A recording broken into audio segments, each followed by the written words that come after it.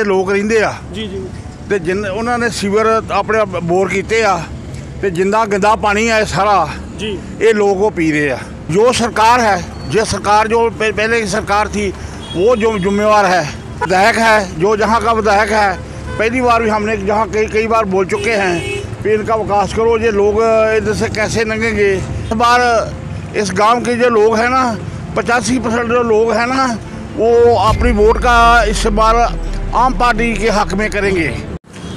नमस्कार, स्वागत है कंचन टीवी पर। जैसे ही हम जीटी रोड पर, अमृतसर के जीटी रोड से गुजर रहे थे तो हमें यहाँ पर रोक लिया गया। और रोका किन के द्वारा है? रिटायर्ड डीएसपी हैं अशोक शर्मा जी, उनके द्वारा।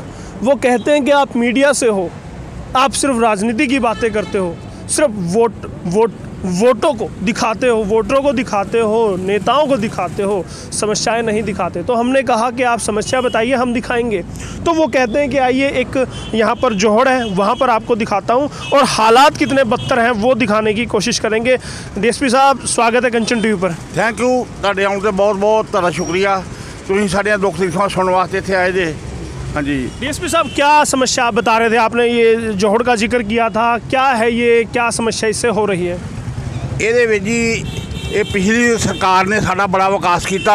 ਜੀ। ਤੁਹਾਡੇ ਸਾਹਮਣੇ ਆ ਛੱਪੜਿਆ ਜੀ। ਤੇ ਇਹ ਜਿਹੜਾ ਛੱਪੜਾ ਡੂੰਘਾ ਆ ਪੁੜਤਾ ਵਾ ਤੇ ਆਲੇ ਦੁਆਲੇ ਪਿੰਡ ਦੇ ਲੋਕ ਰਹਿੰਦੇ ਆ। ਜੀ ਜੀ। ਤੇ ਜਿੰਨ ਉਹਨਾਂ ਨੇ ਸੀਵਰ ਆਪਣੇ ਬੋਰ ਕੀਤੇ ਆ। ਤੇ ਜਿੰਦਾ ਗੰਦਾ ਪਾਣੀ ਆ ਇਹ ਸਾਰਾ ਜੀ। ਇਹ ਲੋਕ ਉਹ ਪੀ ਰਹੇ ਆ। ਆ ਤੁਹਾਡੇ ਸਾਹਮਣੇ ਸਾਰਾ ਪਿੰਡ ਖਵਾ ਕੇ ਕੈਮਰਾ ਆਪਣਾ ਦਿਖਾਓ। ਇਹ ਦੇਖੋ ਸਾਰੇ ਬੰਨੇ ਪਿੰਡ ਆ। ਉਹ ਬਿਲਡਿੰਗਾਂ ਦਿਖਾਓ ਸਾਰੀਆਂ ਪਤਾ ਲੱਗੇ। ਹਾਂਜੀ। ਵੀ ਬਿਲਡਿੰਗਾਂ ਦਿਖਾਓ ਉਹਦੇ ਵਿੱਚ ਇਹ ਗੰਦਾ ਪਾਣੀ ਇਹ ਲੋਕ ਜਿਹੜੇ ਪੀ ਰਹੇ ਆ जी जी ਹਾਂਜੀ ਇੱਥੇ ਇਹ ਵਿਕਾਸ ਸਾਡਾ ਹੋਇਆ ਜੇ ਆ ਜਿਹੜੀ ਸਾਹਮਣੀ ਸੜਕ ਜਿਹੜੀ ਜਾਂਦੀ ਆ जी ਇੱਧਰ बिल्कुल ਨੂੰ- बिल्कुल मैं एक बार एक बार दर्शकों को दिखाना चाहूँगा और यहाँ पर आप देख सकते हैं आ, ये गंदा पानी यहाँ पर इकट्ठा होता है डीएसपी साहब हाँ, हाँ। और यही पानी बोरों के जरिए घरों में नलों में पहुँचता है बहुत हाँ यही पानी जो गंदा पानी है ना ये सभी लोग जो है ना इसका इस्तेमाल करते हैं और जहाँ आप खड़े हैं ना ये मेन सड़क है इस जो दरबार साहब को जाती है। बिल्कुल एक बार दिखाना चाहूँगा। देखिएगा, हालात क्या है? ये मेन सड़क है, दरबार साहिब पर जाती है, और यहाँ देखिए ट्रैक्टर को कैसे? यहाँ पर जो साधन है, उनको कैसे निकलना पड़ता है, यहाँ से कैसे दिक्कत? अब गड्ढे से बच के निकलना पड़ता है, जो यहाँ पर सामान लेकर गाड़ियाँ आती है, बड़ी दिक्कत होती है। और अब अब देखते रहिएगा, अब दिक्कत आ गई। वहाँ से टूटा हुआ है, ये गाड़ी नहीं निकल पा रही है। तो अब इस गाड़ी को बैक जाना पड़ेगा तब ये ट्रैक्टर निकलेगा। तो इस तरह की दिक्कतें पेश आ रही हैं। सड़कें टूटी हैं इधर गंदगी बुरा हाल है पानी पीने की समस्याएँ हैं बीमारियाँ फैलती होंगी। बिल्कुल बिल्कुल बीमारियाँ फैलती है। इस गाँव के इतने लोग जो बीमार हैं। हाँ जी जो ये गंदा पानी पिएँगे जो तो वो उनको जो आप बीमार हो जाएँगे। तो डीएसपी साहब किसको जिम्मेवार मानते हैं? ये सब दिक्कतों का जिम्मेवार किसको मानते हैं? जो सरकार है जो सरकार जो पहले की सरकार थी वो जो जिम्मेवार है।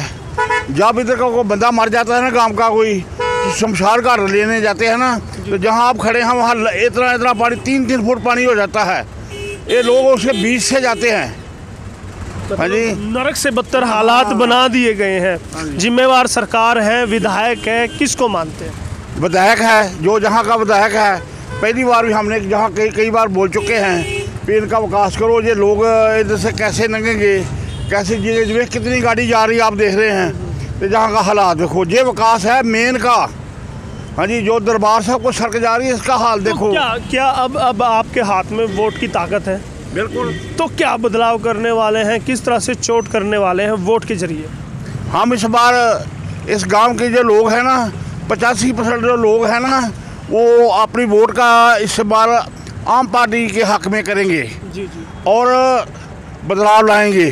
तो क्या डीएसपी साहब क्या आपको लगता है कि आम आदमी पार्टी आएगी और उसके हाथ में वो जिन वो चिराग होगा और वो चिराग घिसेगी उसमें से जिन निकालेगी और सारे वो जोड़ भी ठीक कर देगी वो सड़कों को भी ठीक कर देगी क्या आपको लगता है कि वो एकदम से सब कुछ बदल देगी?